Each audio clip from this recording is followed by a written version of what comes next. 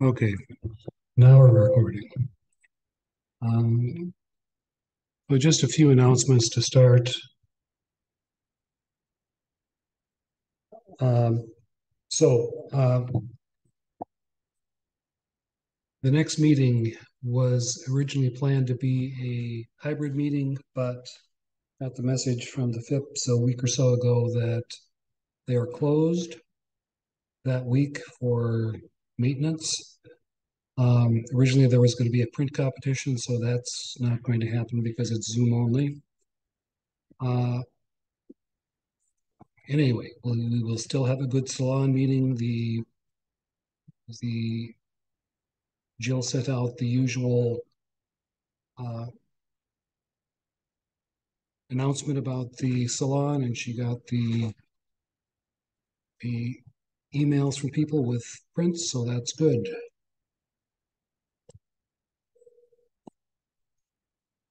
Bring this down.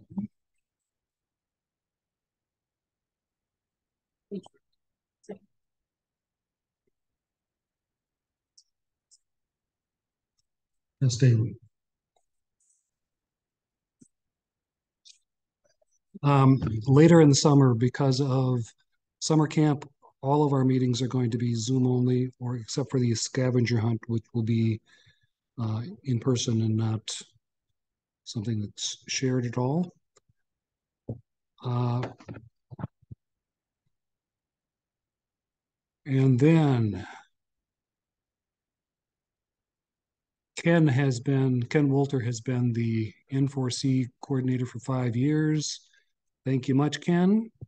But uh, it's time to find a replacement. So I'll be working on that. If there are any um, volunteers, let me know. Okay, that's the end of announcements.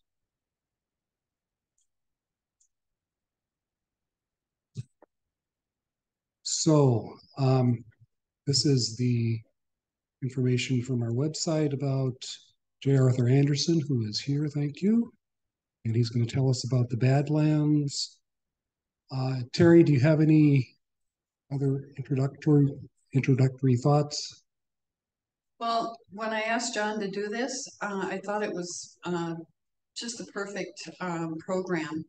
Uh, it's, you know, a lot of people travel for photography and um, the Badlands is a, you know, a half a day's drive away.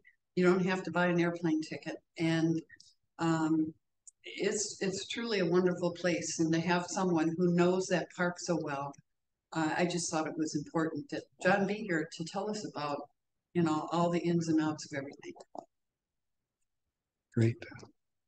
Okay, I'm gonna turn it over to you, John, and you can turn on yours.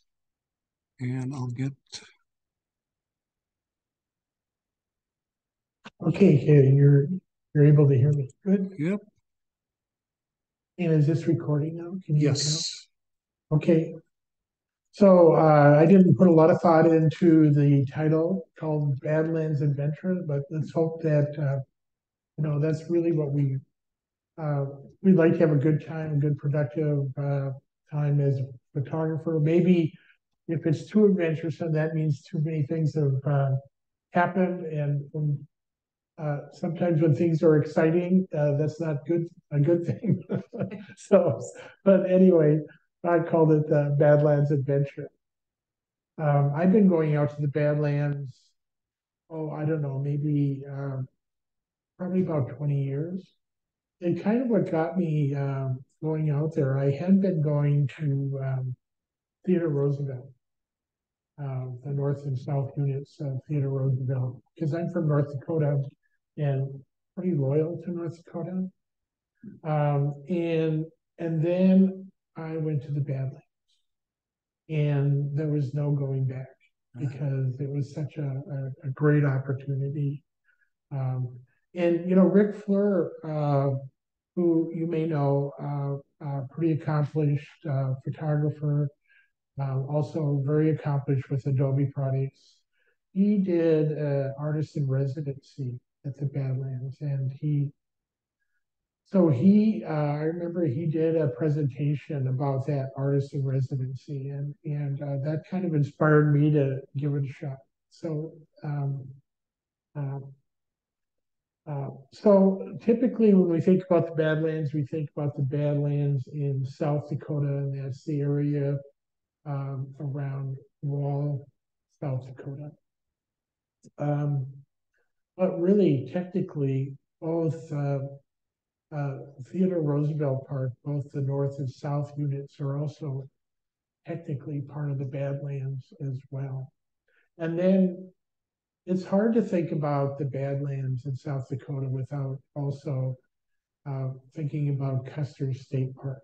Uh, it's a state park, um, but it is uh, at par with the Badlands, what it has to offer, and is just a few miles from Rapid City. So um, to to not go to Custer would be an omission that if, uh, if you're going to go to the Badlands, you should uh, schedule time to be in Custer. Um, uh, something about the way that I think about national parks is I pretty much don't go to national parks between Memorial and Labor Day because there's just so much pressure on them. It's just hard to do what I want to do. So I'm usually going on the off season and unlike Wall, South Dakota, Rapid City uh, hotel costs rates go way down um, after Labor Day. And, and so you can get a hundred dollar room for more like forty dollars in Rapid City. The prices at Wall uh, never go down or, or not appreciably, and and so they keep them pretty high. Um, and so staying in Rapid City uh, in the off season is one of the best uh, travel values that you'll find. Um, if you're thinking of going to Theodore Roosevelt, uh, there's uh, Watford City, uh, that's the north unit, and there's Medora.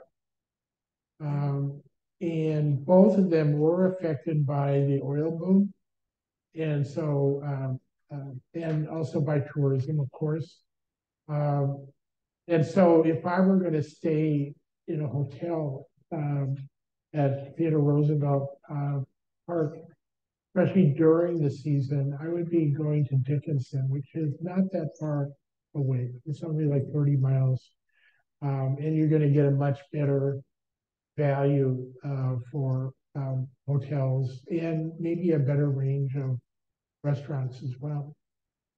Um, so this is a map of um, of the uh, Badlands National Park, and I'm gonna I embedded this map uh, in many places in the presentation because I thought it would be important to to tell you what I want to do is is do the what, where, when, and how sort of presentation. So as we talk about different um, animals uh, or opportunities, I'll point them out on a map so that you can have a sense of, of where you would go in the Badlands. But let's just do a quick overview.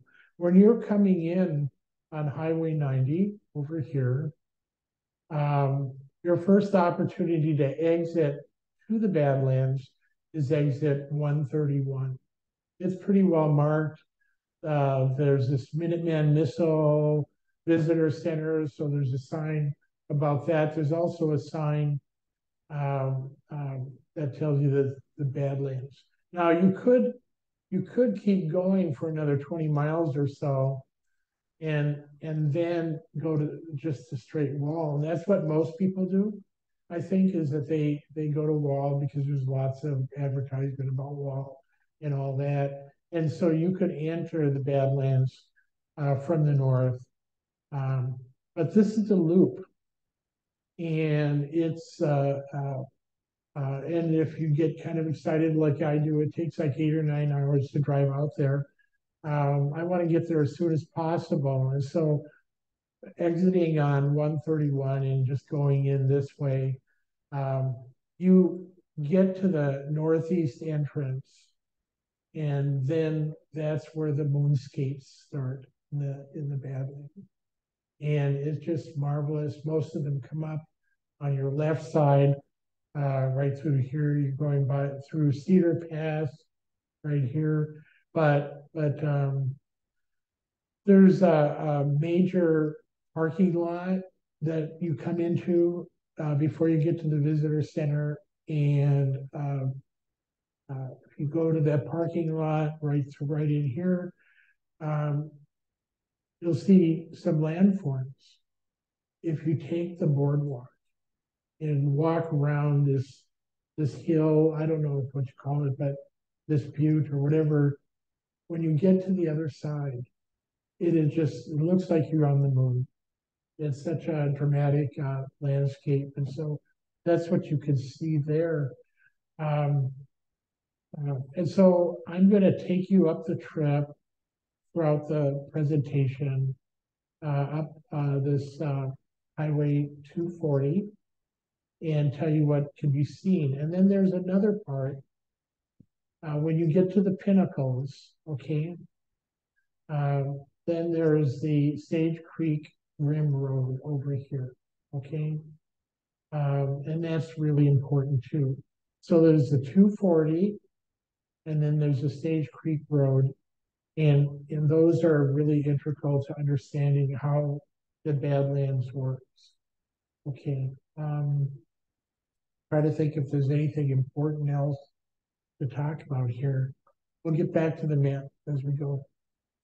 Um, I'm not a landscape photographer.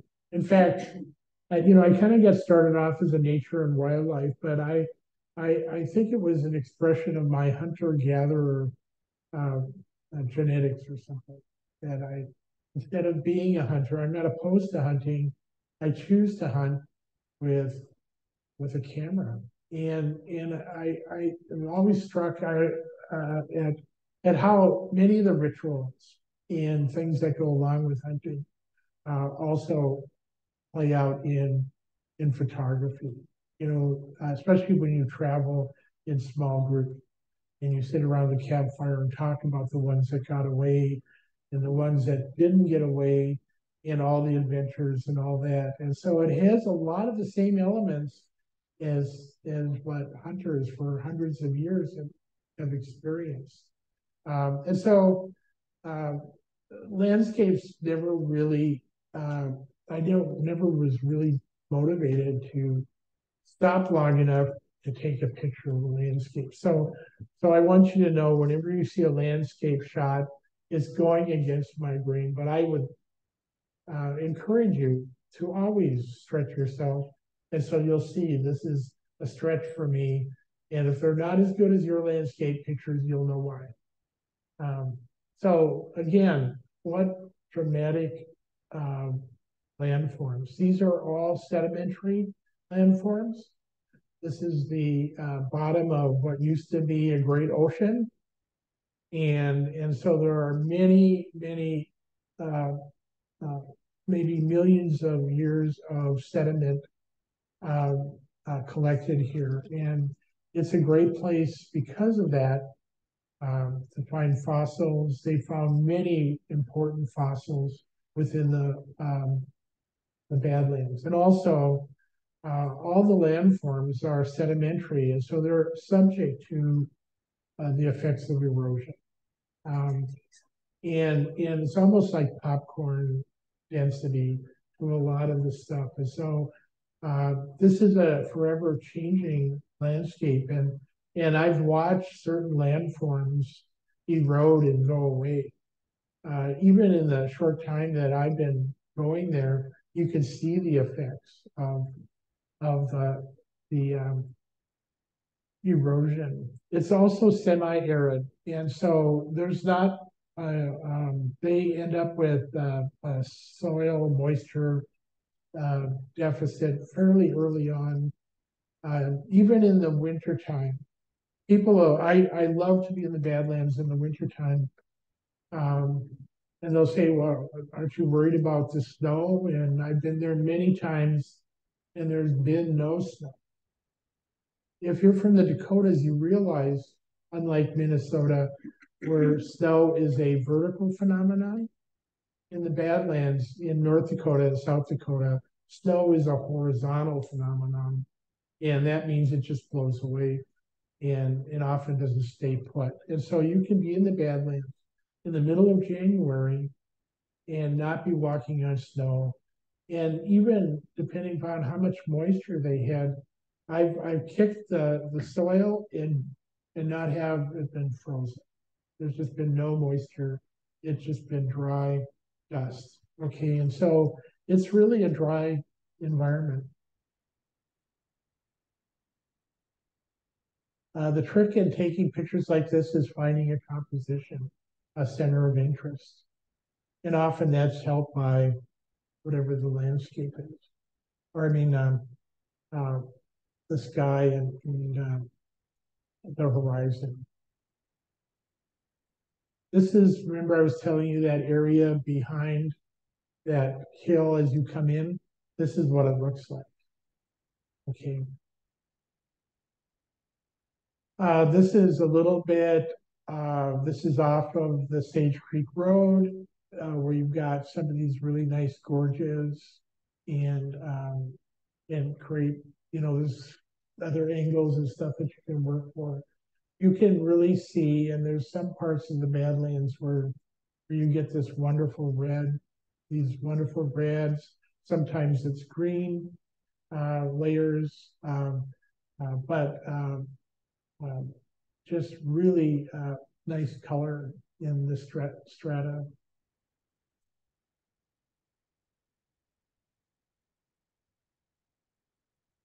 We like going out uh, first thing in the morning and catching um, uh, the sunrise. Um, and we always hope that we're going to have an interesting sky um, and not what we would call bulletproof clouds. We want a little bit of uh, we want the sun to be able to peek through. This is almost my favorite picture of the Badlands. Um, off through that valley there, uh, about 30 miles away, is um, uh, scenic, and then not far from that is L'Ambly and Pine Ridge Indian Reservation. So if you just go off to the left, uh, that's where we're at. And to my right, about, well, I would say 20 miles north is one. This is Cedar Pass. This is not Photoshop. This was, um, um, and so the Cedar Pass uh, is uh, is this sharp uh, curves and all that right before you get to the visitor center. Um, uh, in the park. Um, this is also one of my favorite landforms. I I uh, do photography for the American Indian Movement, and their logo is a is a native face with uh, feathers done in kind of like a peace sign or a victory sign. And so that's what I see when I see those two sticking up. Remember, I told you the landscape is already is always changing. One of those fingers fell down, and so I'm I'm not sure what the statement now is, uh, but it's just one sticking up now. Um, I think this is one of the nicest uh, uh, views uh, in the Badlands. And I don't know the name of this peak here, but you'll see it appear in some of the other photographs. Uh, this photograph I I I did for the um, uh, uh, spring break. So this one is a lie. This one is a composition or composite image. And so you'll see interesting things like this where you'll you learn that the uh, um, brush will will collect on the fence fences out on the prairies and and that can be just really a, a interesting and wonderful shot. Um, on your way to uh, the Badlands from the Twin Cities at Chamberlain, there's a uh, uh, rest area on the east side of Chamberlain, South Dakota. Um, where, um, there's this statue that, um, uh, called Dignity, which is so well executed, uh, and just totally respectful. There you have, uh, uh, a Plains Indian woman with a star quilt. Um, I would encourage you to stop there and take whatever best shot you can get at that time of the day or night. And because it's uh, it's got a lot of different looks. And and it's something that's photographable from many different angles. And and so you can tell the story in a different way. In a very uh, various ways. And it's so nicely situated because you get i assume that's the missouri uh, in the back there. And um, uh, and off to the lower right is chamberlain um, there's also a lot of opportunity. So uh, if on your way out or back from going to the Badlands, if you go down the back road, um, you have uh, uh, lots of farms, farmsteads in decline. And, and there's fewer of them every day because uh, since I took this picture, that house has fallen. You can't take this picture anymore. And, and so uh, these farms are being bought up, they're becoming more corporate. Uh, they, they tend to uh, plow down whatever structures are there. And so that opportunity is going away. But it's a great opportunity right now. Get off the get off the freeway and start driving some of the back roads. And and you can see scenes like that.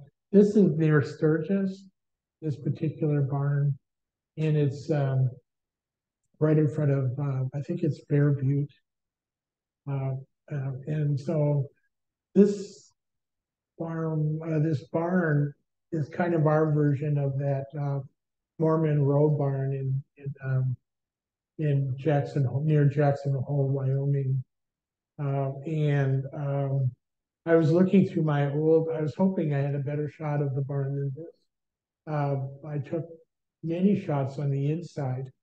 Uh, and, and so it's uh, not all barns are safe to walk in. Um, um, this one uh, didn't seem to have that many hazards. So I'd encourage you to go to Sturgis, Bear Butte, and um, check out this barn um, and and even going in. So these are the sort. This is an old granary. Um, but these are the sorts of structures that uh, that you'll find by getting off the roads.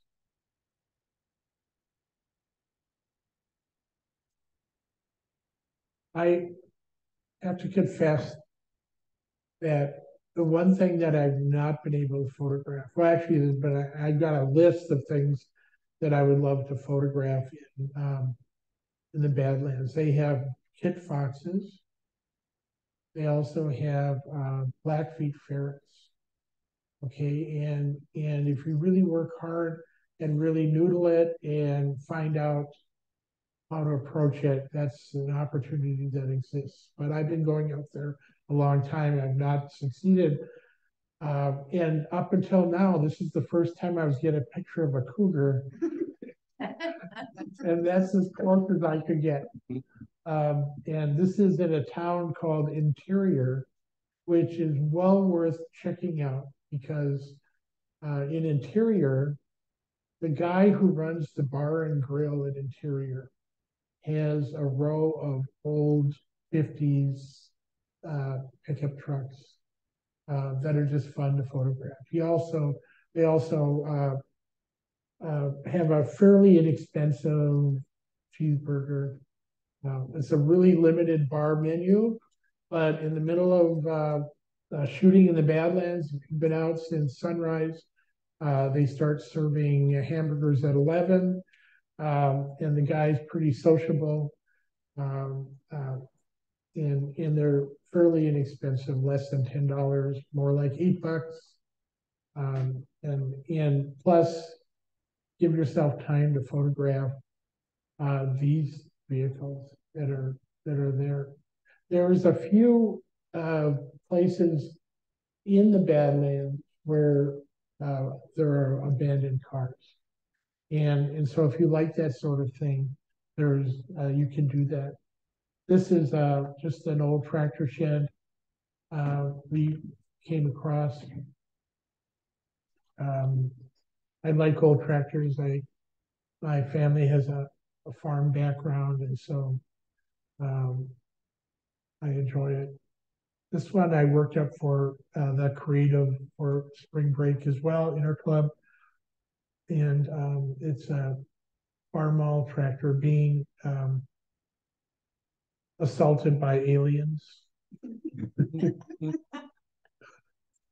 um, this is, uh, you've heard about Home on the Range.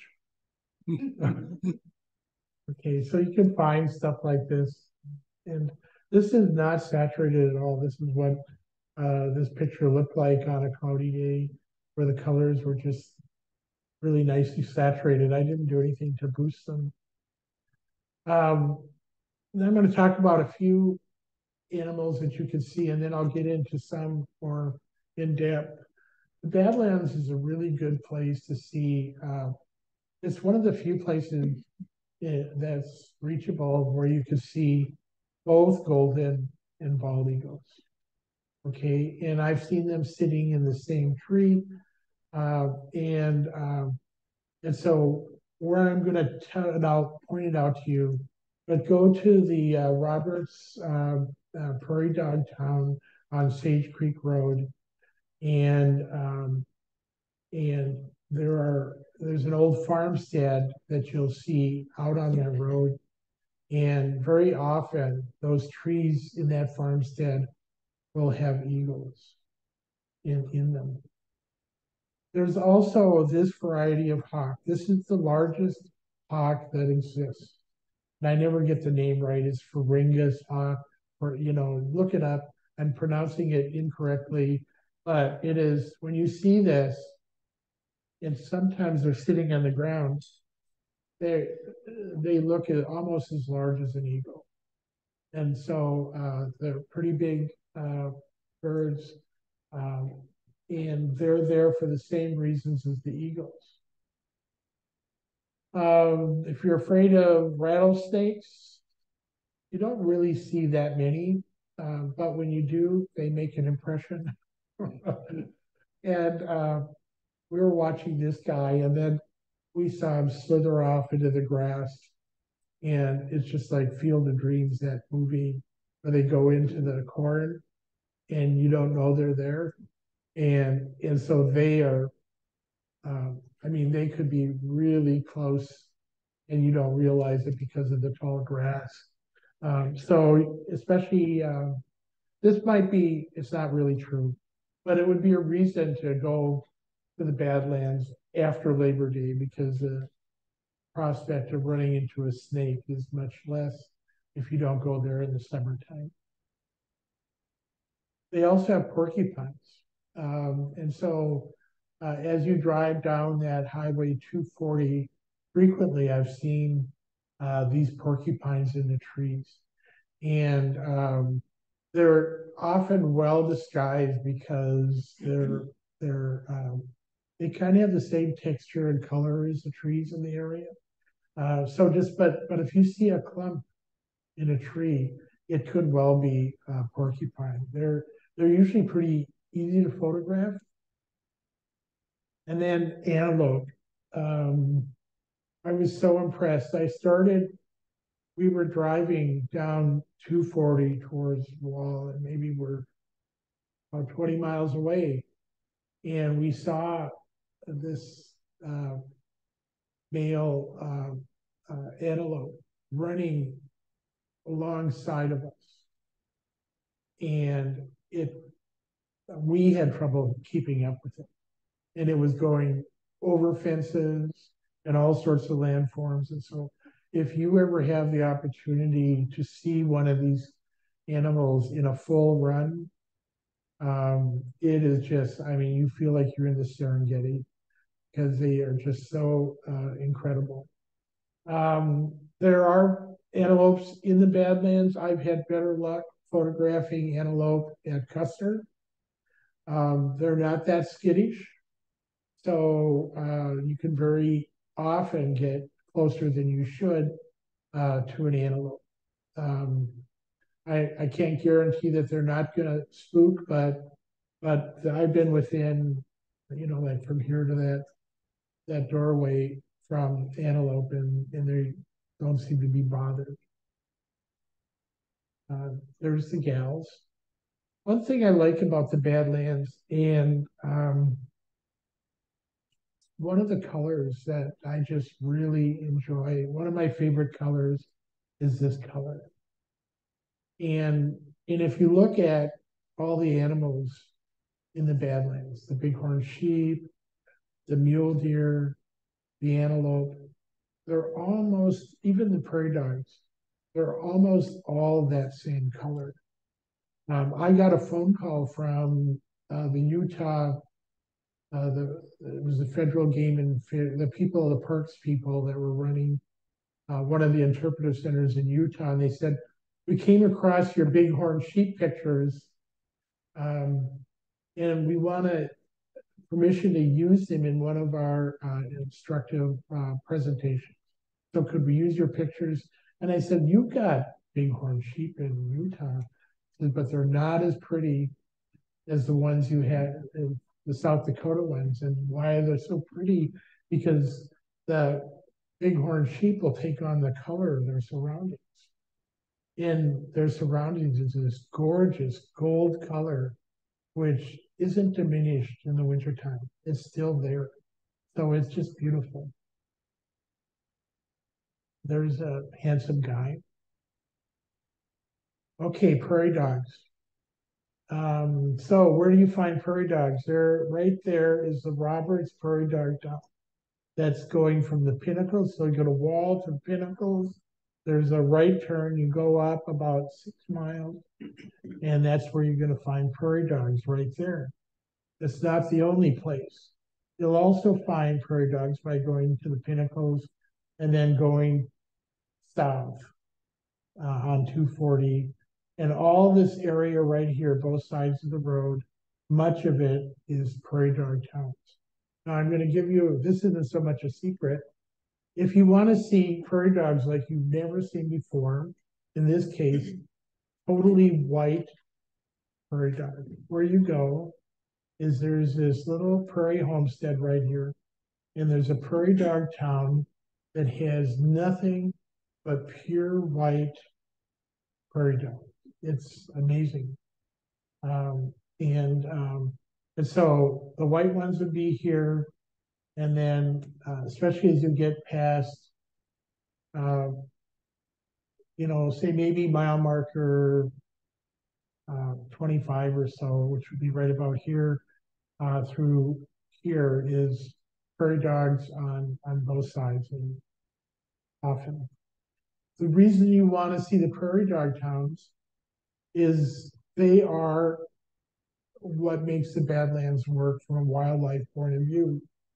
They, I call it the prairie dog buffet, that there's so many animals that are dependent upon the prairie dogs for food, like the golden eagles, the bald eagles, those hawks that I talked about.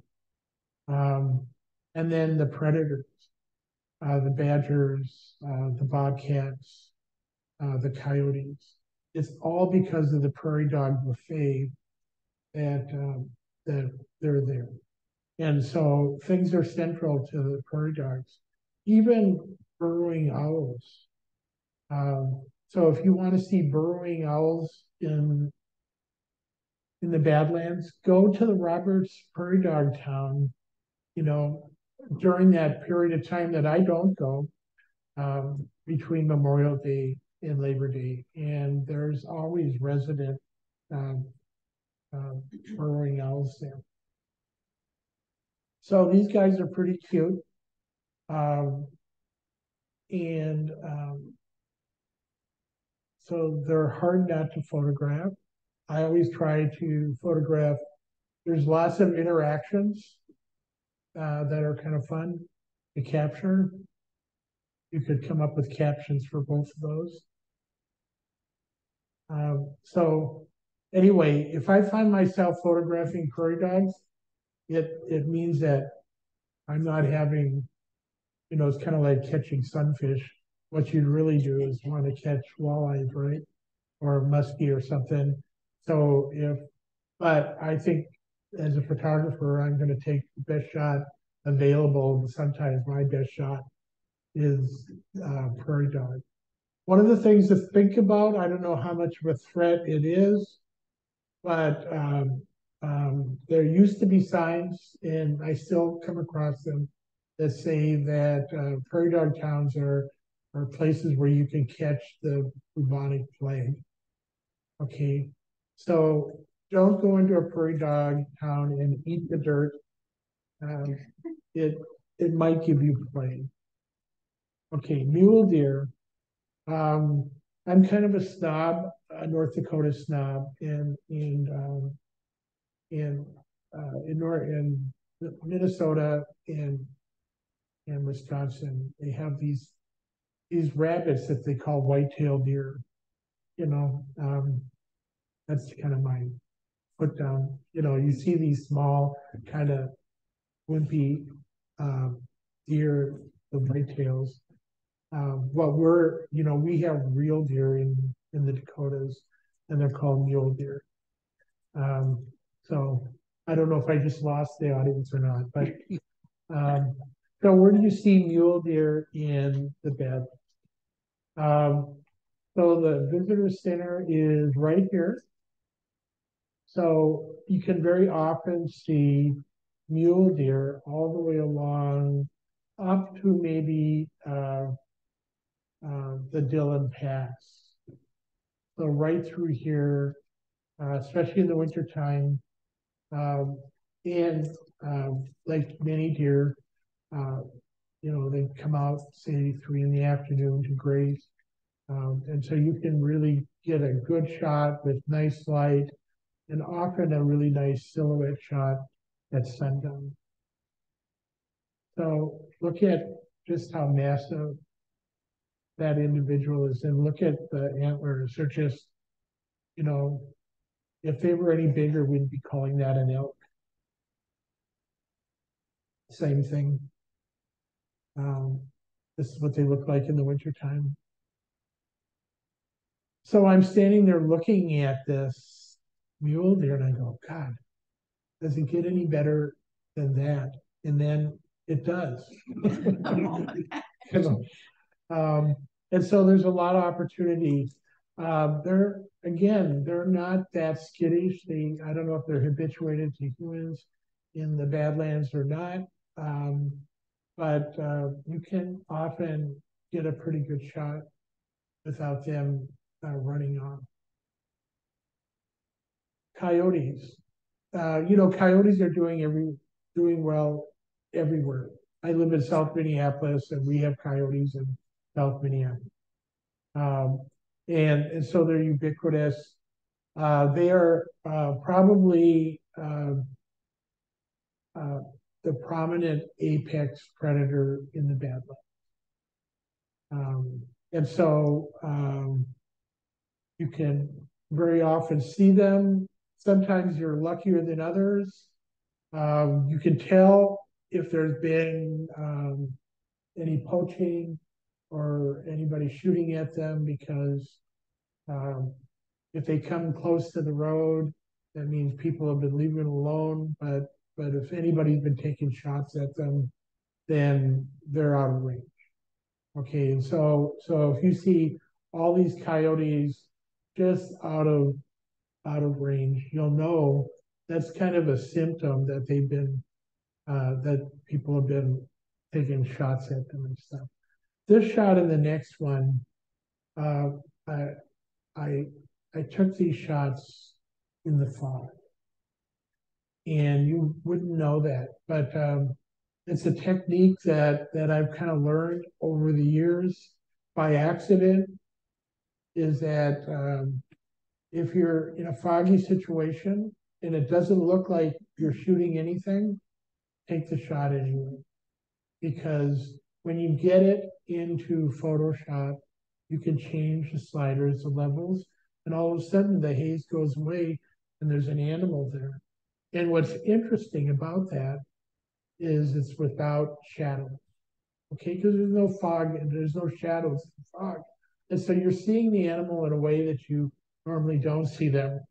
And why it's easy to photograph coyotes in the fog is they don't think that you can see them.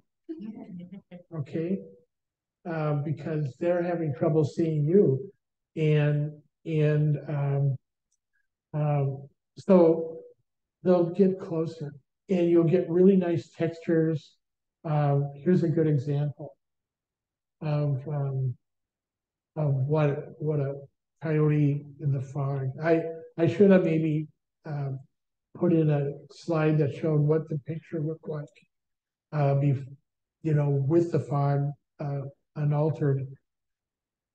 Uh, when it comes to shooting and exposing for fog, uh, I would push it as far as I could to the right, um, as long as you don't blow it out. Um, all that data is going to be able to be recoverable through those sliders, and then you'll get a picture like this. This is not in the fog.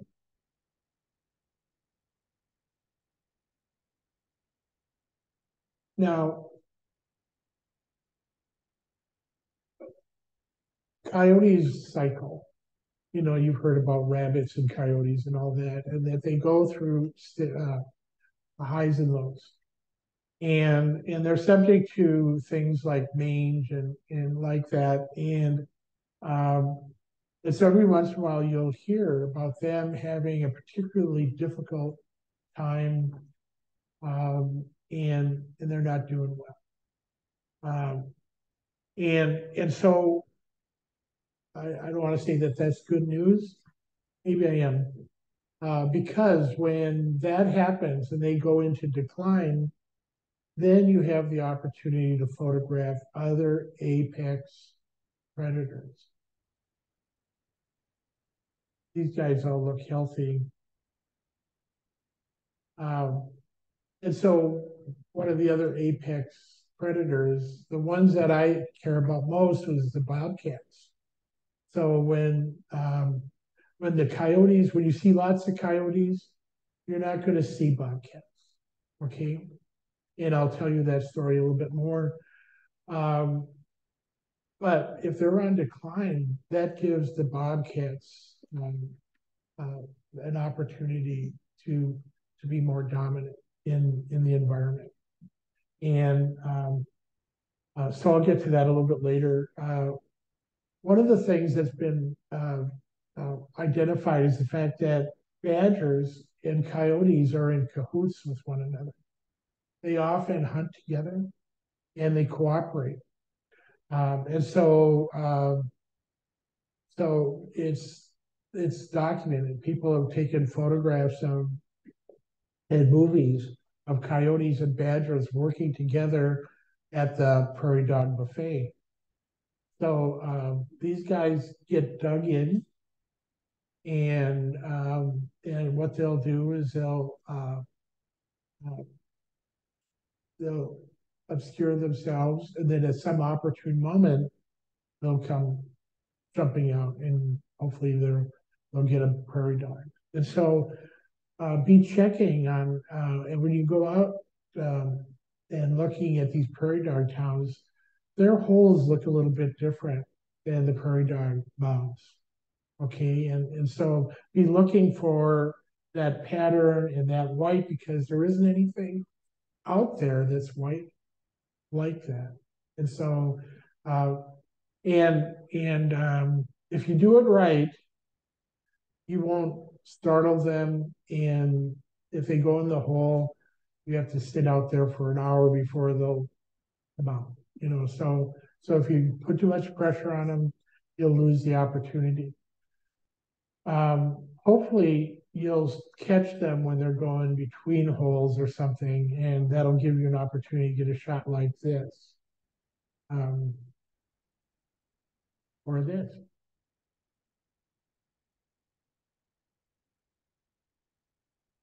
Okay, um, so for, uh, less than a handful of years, uh, I was going out to, um, uh, the Badlands, um, mid-December to maybe, um, through January, um, uh, to photograph bobcats. And that was the time at which, um, the coyotes were uh, kind of thinned out, and so the Bobcats had a chance to do their thing. Why I went out there in December, mid-December, was their um, that's their breeding period, and so what is a nocturnal animal becomes diurnal, meaning they come out in the day because you know it's like the guys are interested in you know finding the gals and things like that, and so they'll they'll they'll be much more visible and um, um, and so you have more opportunity to, to photograph bobcats. Other than that, they're normal. Um, they're they're normally night creatures, and so it's difficult. Uh, so where do you see bob? Uh, where do you see uh, uh bobcats? Uh, you're going to find them where the prairie dog towns are. Okay, most of the pictures that you're going to see tonight were taken right around here. Oh, um, yeah, actually between Prairie Wind Overlook and Homestead Overlook. Um, uh, that's where most of the pictures that I'm going to show you, they're, they're, they've also been seen, and I photographed them right near the Cedar Pass area. Okay. Um, but sometimes they'll thrill the locals and they'll hang out on a fence post or something right along 240 as you come into, uh, you know, if you're going to Wall or, or going into the park, uh, they'll be uh, on the right as you're coming into the park in the morning, sitting on a fence post or something. And so, so as you're coming in, check this out. Um, but if I'm looking for bobcats, the first place I'm going is is right here. Uh, my plan B and C would be here, and then the Roberts. I've I've never photographed um, uh, bobcats in in Roberts. I don't know why, um, but um, uh, actually, I think I might know one. Okay, so here's one of them. They're when they're sitting out on the uh, prairie dog town there, I say the people who are with me, look for something the size of a bread box. When they're lying in the ground, they look about like that big. Okay, uh, they weigh about 30 pounds. And um, often what they'll do is there's early risers. Um, if it's really an inclement day, don't bother because they're cats. They don't like being out in the rain and that sort of thing. And the prairie dogs don't like to come out either.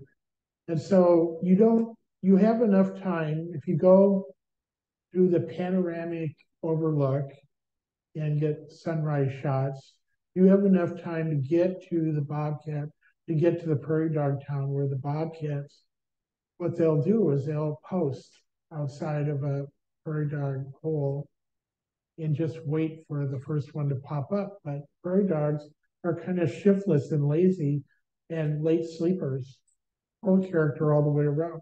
And but the the um, bobcats are very industrious. They will uh, they'll just sit there and they may sit there for an hour and, and so it might be an opportunity for you to get a picture of a bobcat for an hour. And you're just saying, okay, move. And you're trying to, you know, so you have gotten all the posting pictures. Now what you really want is some action. So you have to kind of be patient. And um, that's what that action might look like. Okay. So go out to the prairie dog town, um, and and just look for these little things that are about the size of a bread box. And um, first thing in the morning. Uh, but if you don't get there before nine o'clock, that's okay too. Okay, because as long as the prairie dogs aren't out yet, uh, they're they're posting up. Um, these two were uh, from a family, and so I got to track them um, uh, over a season. Um, and um, so, um, so what mom does, um, she's raising uh, her litter, and you have to understand how the Badlands works and how the grasslands work. Okay, and so the prairie dog towns are often in the grassland part. And so when you're going down 240, very often on one side of the road is Badlands, and on the other side of the road is grassland. So mom's job is to go out into the grasslands, grab a prairie dog, and when she grabs that prairie dog, it yelps, makes a noise, very distinctive noise, okay? Which cues the coyotes. They know what's happened and they are opportunists. And so then she's got to hightail it back to the Badlands, okay, to where she's on equal footing. When she's by herself out in the prairie dog town, you may have a pack of coyotes. And so she's outnumbered. Um, on flat land, she's at a disadvantage. But once she gets into the badlands, where her uh, kittens are, um, then she's on equal footing. And so what she will do then is is dress that prairie dog out and bring it in uh, to these guys who are waiting for her to come back and she doesn't bring the food to the den. They have a meeting place, okay? Kitty's restaurant or something. I don't know, there's some meeting place. Um, because it's a bad idea to take that smelly food to the den. So they cache it somewhere. And, and the little ones um, know to meet her there. This is a guy, he's just waiting for the gals to show up. He's just studying himself. So here's a, a, bobcat family. That's the mom I was telling you about. They look pretty happy. They've had their meal. They're looking literally at the sunset, just sunning themselves. Uh, this is the same family um, a month later. I went back and found them again, and and um, um, you know, they're just kind of hanging out. And so this is uh, um, the the young ones just kind of hanging out. And here's mom doing some training.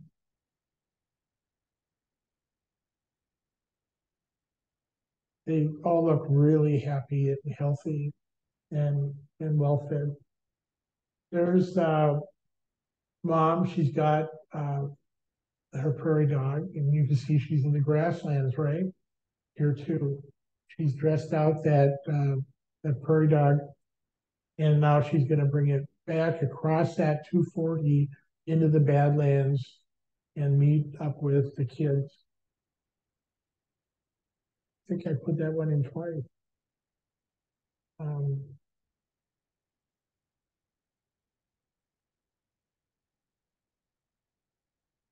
Okay, any questions about bobcats? Buffalo um, are just uh, one of the features of the Badlands. Uh, it's wonderful. Uh, I would encourage you to go both to the Badlands and to Custer um, uh, to photograph the buffalo there.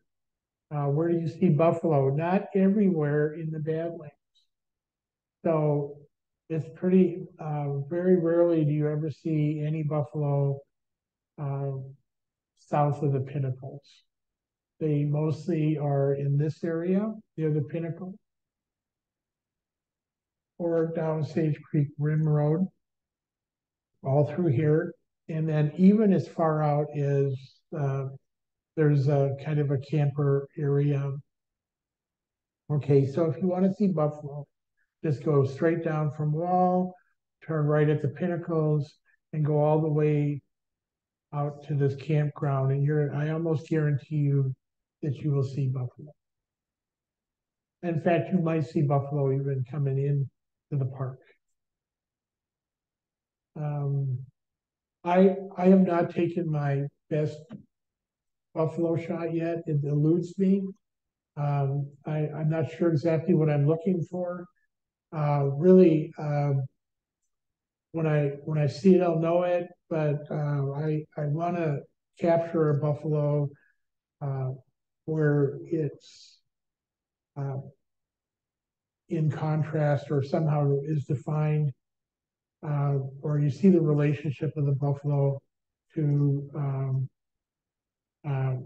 the surroundings, uh, because they are so much, they're so well um, um, geared towards the, the the Badlands topography and and all that. I mean, it's like uh, one of the most remarkable things you'll ever see is a buffalo um, in deep snow plowing its way, and, and you can just see it moving its head back and forth, just creating this road in front of it so uh, to walk through and you just see how those muscles in the neck are all geared uh, for doing exactly what that animal is doing. They're so well adapted. Uh, I was talking to somebody who went out to the Badlands with uh, uh infrared and they could not see the buffalo. This is in the middle of winter time, and they could not see the buffalo. And and why is that? because with this fur and their hide, they don't give off any heat. And you could go out to the Badlands a week after a snowstorm and they still have snow crusted on them because it doesn't melt off. So unless they shake it off or, or roll and rub it off, that snow stays on them and it's great photography. Uh, this guy did say that it was kind of funny because when he was looking through with the RF glasses, he could see their eyeballs. That the only place where the buffaloes gave off uh, heat was through their eyes, which I think is kind of cool. So I've been trying to capture different looks. Um, um, let me just say some cautionary things about buffalo is um, um people treat them like cows or like domestic. They're not.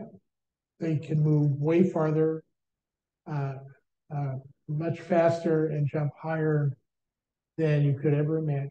This animal can go 30 miles an hour, um, and um, uh, you could take the biggest four-wheel drive vehicle that you want, and uh, and the buffalo is going to win.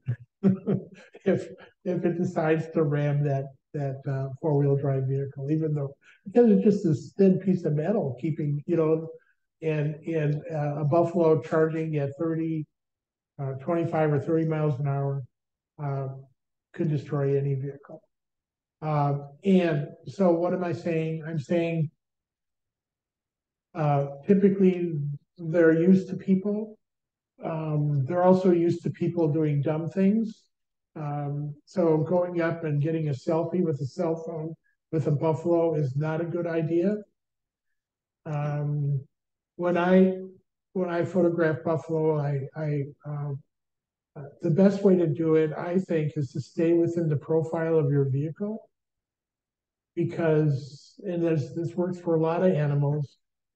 Uh, they don't recognize you as a person as a human being until you leave that profile in the vehicle. So at that point, you become a, a pattern that they recognize as a as a human being while you're in the profile of the vehicle. uh, that provides you with some safety. Um, and, and so staying close to your vehicle on the right side of the vehicle, so the vehicle is between you and the animal. Um, or at least uh, a place where you can hide or, or dodge into if you need to. So um, I I don't think that um, I've consciously, sometimes by accident, I found myself like really close, standing out in the open. Um, um, that's that's a pretty dangerous situation, and so I would encourage you not to to do that. Um, I love the way that I photograph buffalo is I look for uh, a day where the light is really, really flat. Uh, because what I like to do is I like to um, have the opportunity to overexpose, um, and I'm shooting it wrong. Uh, I'm overexposing the subject because, you know, if you have a really uh, bright day where the dynamic range is just infinite and it's really hard for your camera to cope with that. So if you can photograph a buffalo where you've got a, the narrowest dynamic range possible.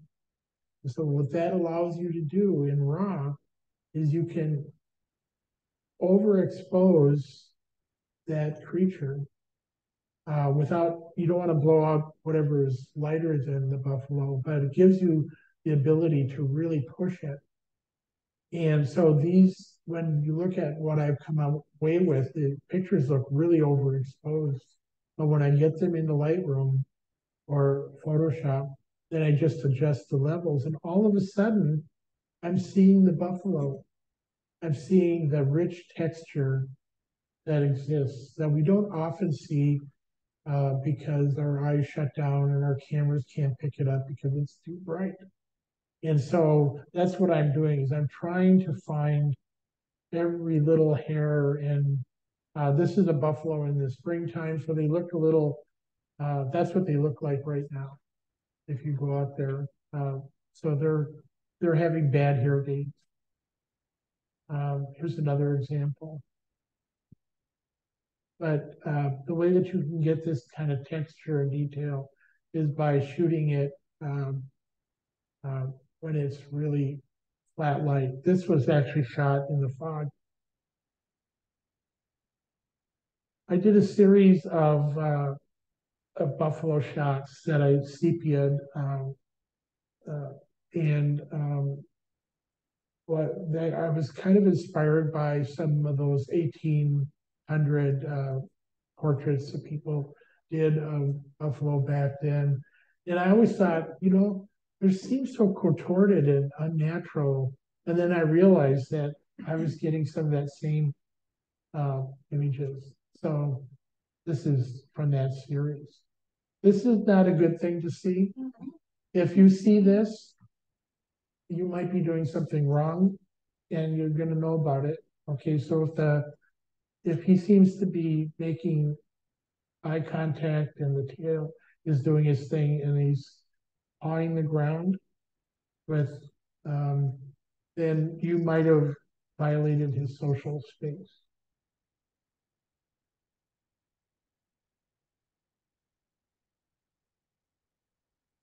Um, this is part of the series. Uh, we'll talk about the calves here in just a little bit. Right now is calving.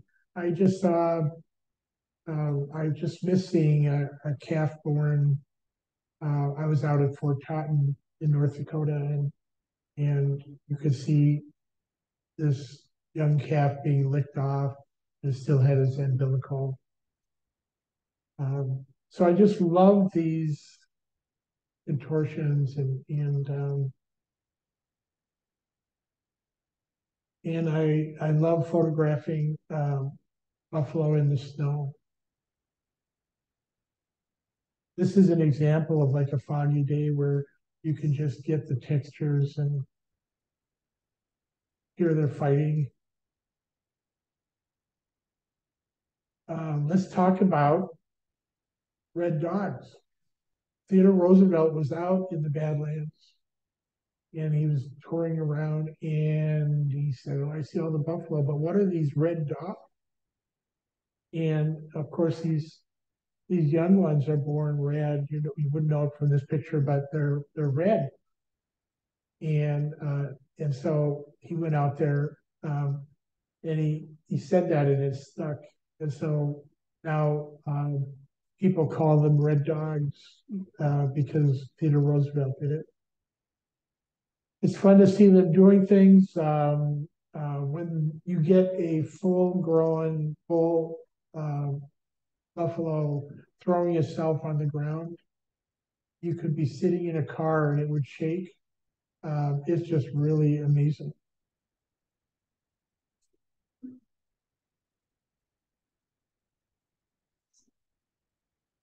And then, of course, they make really nice silhouette. Every year there's a buffalo roundup at uh, Custer. It's all of a sudden people uh, learned about it, and so it's well attended, probably too well attended. Uh, but there are all sorts of activities and fun things that go on. So if you just want a fun day and you want to see people riding horses, uh, cowboys uh, herding buffalo, um, it it's pretty magnificent. Um, I was just there by accident. I've been there a couple of times, uh, both in the Badlands and at Custer, where um, um, they were doing roundup activities anyway. And uh, the reason I took this picture was uh, what they do is they sort the buffalo, okay, and they thin the herd like once a year and they'll put different tags on the buffaloes. There's uh, the ones that they don't tag, they're probably keeping. Uh, if they have a blue tag, uh, they're being sold off. There's uh, uh, all the uh, tribal nations um, in the 40, lower 48, probably Alaska too, have first say over the buffalo. So, so anything that they they get first shot at it. Sometimes uh, those buffalo are shipped there to uh, to create herds or to replenish other herds. Uh, um, sometimes they're shipped there for food to be used for food. The ones that don't get shipped to reservations are sold on, and um, um, they end up uh, on buffalo farms they may end up being food or, you know. Uh, but the reason I took this picture was when this particular individual showed up, it was like everybody got quiet. But this is a, apparently a three-year-old bull that is magnificent. And I mean, when you see this animal, he's clearly special. And so everybody just I mean, there was just like there was everybody was quiet, just looking at this this young bull, which I'm sure they hung on to. Bighorn sheep. Um, for years, we would uh, the day of Thanksgiving. Uh, my wife didn't always appreciate this. Uh, we would, after eating a big meal and all that, at about two in the morning, we would take off for the bed. Okay, and we would get there. Reason I don't know. It seemed to make sense at the time, but we'd get there at about eight in the morning, and we'd have a you know a day of shooting. Um, and so um, the bighorn sheep rut starts kind of in that time frame and goes like it might be a couple days before Thanksgiving, all the way to maybe about December 3rd. Um, and so this is their big meeting thing where they do all the dominant stuff. Um, and so where do you see bighorn sheep in the Badlands? The pinnacles is really bighorn sheep central. Okay. And so a lot of the pictures that you're going to see, even the best ones, were actually taken um, right along, right through here um, you'll also see big bighorn sheep on this side. Uh, and then, um, there's some, uh, antenna, there's like an antenna farm over here that, so this whole area right here is where you're most likely to see big bighorn sheep. Having said that, uh, there's also some bighorn sheep activity down on this end of the park. Um, and so from the visitor center in to like maybe, um, I, I kind of, I, I've not seen much after fossil exhibit trail. So like right in here, bighorn sheep as well. Um, and and so um, when the rut starts, uh, you'll see them, uh, the males kind of go nuts and trying to, they're trying to establish hierarchy. And uh, so uh, the the top ram ends up being the head of the harem. It's very similar to what happens with deer too. You'll see this is an unusual profile this is, you see how the spine is straight? Okay, the head isn't. Okay, so that makes for pretty good ramming. Um, and and so they have these horns. Sometimes the old folks, old guys, sometimes you'll see them really busted up. Sometimes you'll see them bleeding. Um, and um, uh, when they um, when they run into each other, you can hear the noise sometimes, like more than a half, well, a half a mile away, you can hear the echo.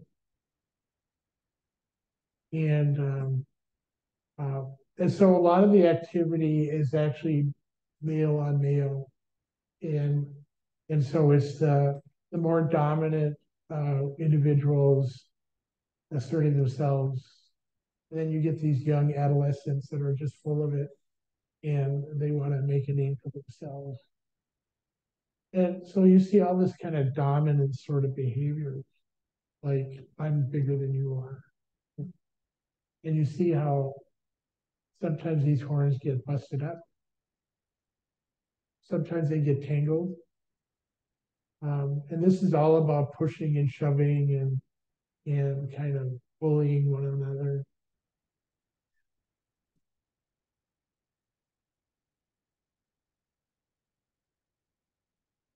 Um, this shows you just how serious it can get. You had this uh, this ewe who's just beginning estrus, and uh, they can sense it, uh, smell her, and for whatever reason, she wants to elude them. So here she's climbing out on this uh, very loose kind of popcorn sedimentary structure and you just wonder, you know, what's keeping her there because it's almost straight up and down. And then you see these two guys, they weigh almost 300 pounds and they are pounding on each other. And, and, you know, um, um, they're so well adapted. And uh, the only way that this picture makes any sense to me is if these animals are filled with helium. Okay. But but this is serious business. They're fighting. I don't want to say to the death, but they are de definitely fighting to win. And you can see that both of them are very large um, individuals and, and pretty mature. And you see that there's just nothing holding this this uh, soil together. Finally, this guy runs this other guy off. So you see that sort of behavior.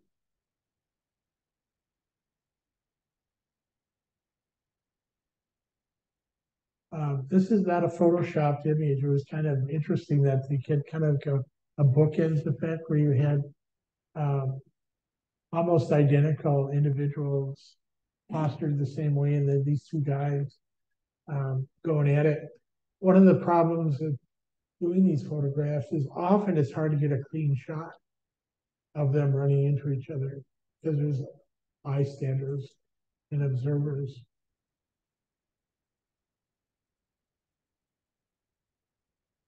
This picture was taken in a blizzard. There was sixty mile an hour sustained winds. And there'd been an ice storm, and so standing, uh, it was, it was very icy. But they love it because when they're doing, um, they're fighting, um, they're ramming each other, um, they get overheated. And so they love it when it's inclement and it's cold and it's windy, um, because then they can really go to town and not get overheated.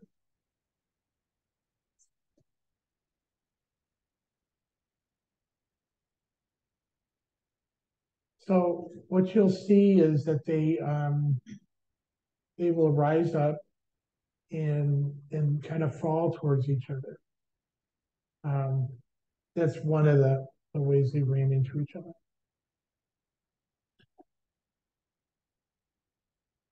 Wonder if I can do that again. Okay, go for it. I've done this like thirty times. It's always the same ending. Okay, so here's another. And so the sound that you would hear, you could hear a long ways away.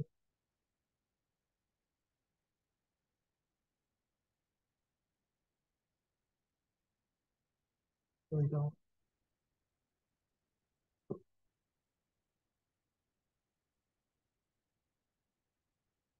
So the and sometimes it's funny because they, they both look dazed when they're, when they're done. And they'll stand there just for a little time collecting themselves. So, so remember how I said no snow in the Badlands in the winter? Okay, so this happened like the first week in December. Okay, how am I doing for time, guys? Are you guys We're good. okay? Uh, about ten more minutes. Okay, yeah, I just thought I'd talk a little bit about equipment. So what do you go out to the Badlands with? Um, typically what I'll do is I will, um, set up two camera bodies. Uh, one is for lawn and one is for super lawn. Okay? And that, uh, so I might have a, uh, uh, a seventy to two hundred, or maybe even, um, a twenty-four to seventy. Okay, but I'll have a shorter lens, but that has some reach to it. And then I'll have uh, something that is longer than five hundred. And the reason I do that is that, especially with buffalo, uh, sometimes you're too close, and so you need that that shorter long lens to be able to uh, not be too close. And and so they uh, you might say, well, why don't you put on a wide angle for the vistas in a long lens? And I'll say, well, because if I'm going to do a vista, I'm going to be thoughtful. It will be planned, and and um, get out my tripod and all that. And what lens is on my camera uh, is something that is done more planfully. Uh, so I very often say to myself, damn it, I've got the wrong lens, and it's never the wide angle. It's that shorter long lens is the one that's the wrong one on my camera. So for many years, my bread and butter lens was uh, uh, the Canon 500 f. And, and probably one of the best wildlife cameras out there for many years was the Canon uh, 7D Mark II. Um, it was just really a good camera. And um, that was back in the DSL days. Um, I found that the 5D Mark IV, which is probably, you know, if I had to pick a DSLR um, and not a mirrorless, that's probably the camera that I would pick. Uh, it's just so very capable. And, um, and, and so that's the type of gear that I would go out there with.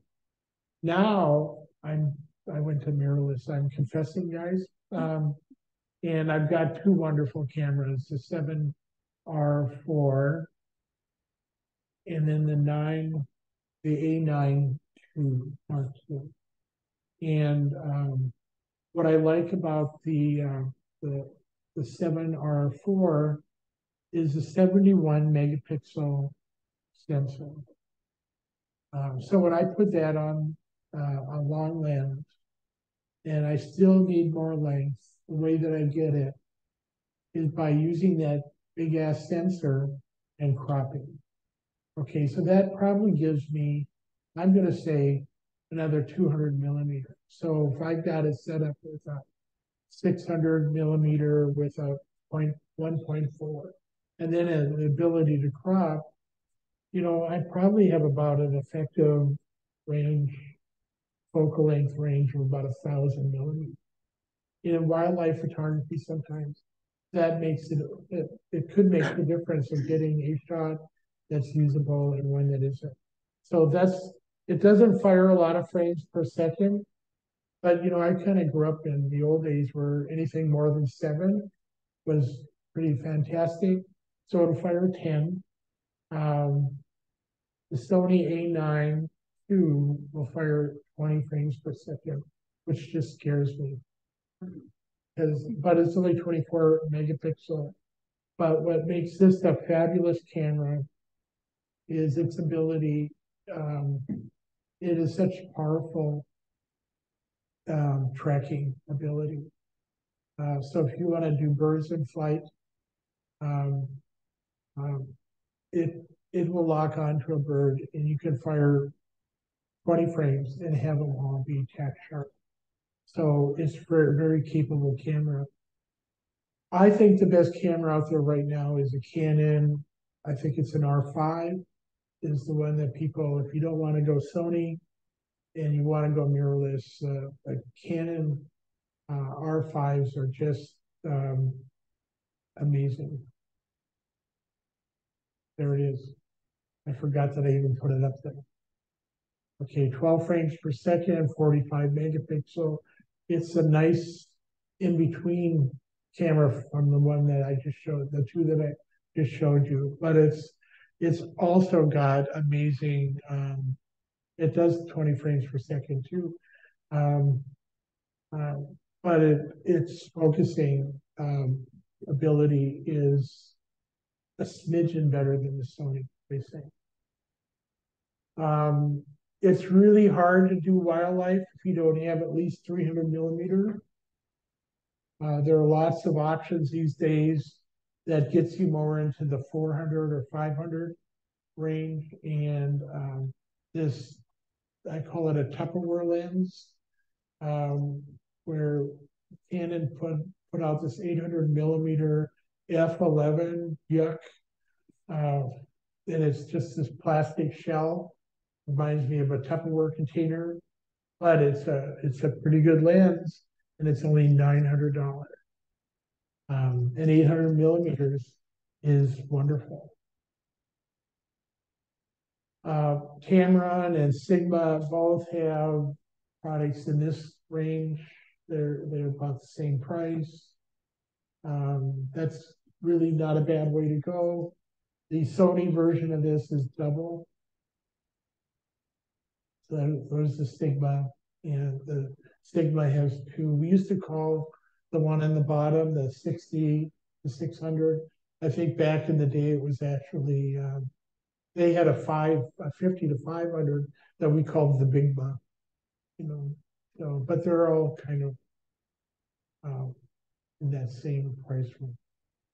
Um, my bread and butter lens, I replaced my 500 Canon um, with this one. Um, and I'm not looking back, it's just wonderful. Um, and to say that when you've been used to using a prime lens, a zoom lens, uh, what I like about it is its weight. I didn't think that that would ever matter to me, but it does. It's lighter and it doesn't do that sneaky moving in and out as you um, as you refocus as you change uh, um, as you zoom in. So it stays the same length. And why that's good is if you have it on a tripod Um, anything that moves is gonna shift the balance and kind of mess up your gimbal and, and that sort of thing. And so it's really a nice lens. And then almost any lens, um, well, Sony has the one hundred to four hundred, which um, there are people are always debating which is the better and and um, I've had friends of mine sell their one hundred to four hundred to get the two hundred to six hundred. The one point four uh, teleconverter works really well on both of these. Um, some people even go to two X, but I'm conservative. I don't believe in it. One point four is fine. There you go. And um, I don't ho- handhold much of anything when I'm out in the field. The way that I uh, I put my long lens um, on a monopod, which gives me great mobility. So I can grab that and just run.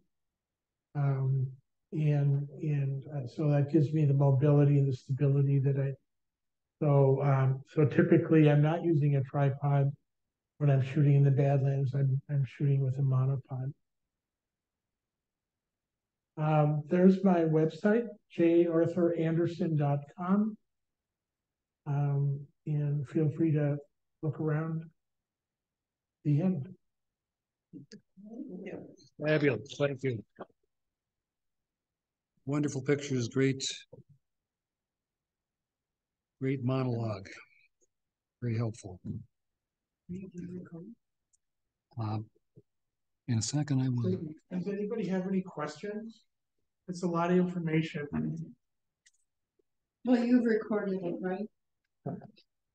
So are we putting it on our YouTube channel? Most